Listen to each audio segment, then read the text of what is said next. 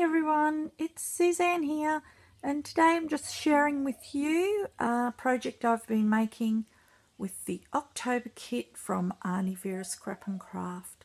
So the October kit is called Trick or Treat and it's all about Halloween obviously and I've made this Halloween banner. So to make this banner I've just used a die that I have in my stash.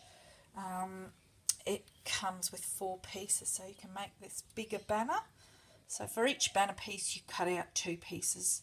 The black piece in the background's got a scalloped edge and then the orange piece is just a triangle.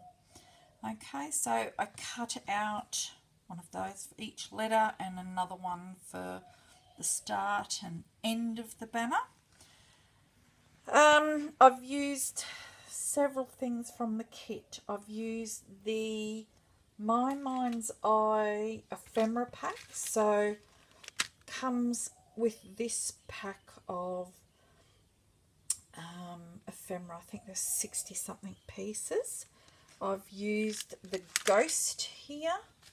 He's from the pack. Okay. I've also used some Nuvo drops. It's called Violet Galaxy. So beautiful. Love the colours of these things. So I've used that at the bottom of each banner piece. It's got a purple dot. Also from the kit is the black and orange twine. So it's from Tim Holtz Idea-ology range. It's called Trimmings. Also comes with this beautiful black shiny one. Okay, so for the rest of the banner, I just had some like very old chipboard pieces. I've painted them with black gesso and then absolutely lathered them with beautiful little gold, uh, gold, goodness me, purple stars. Okay, so that is all over the letters. In the background, you can see that gold shimmery. That's actually some sort of material that I've got. It's very sheer. Try and show you if I can. But it's got this gold swirl through it. So I just cut a piece of that for each banner piece as well just trying to jazz it up a bit.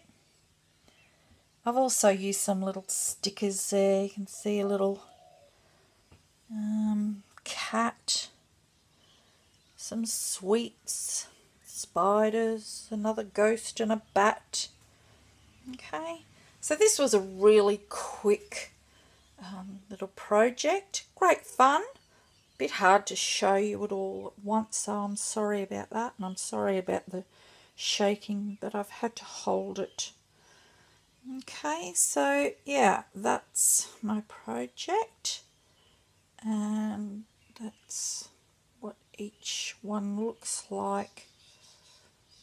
Okay, so this kit is available in October from Aunty Vera Scrap and Craft called Trick or Treat. Also in the kit are some beautiful Halloween papers from My Mind's Eye uh, gorgeous um, scarecrow die, a Tim Holtz die.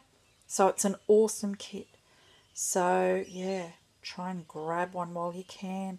I hope you enjoyed having a look at my project today and thank you for watching. Bye.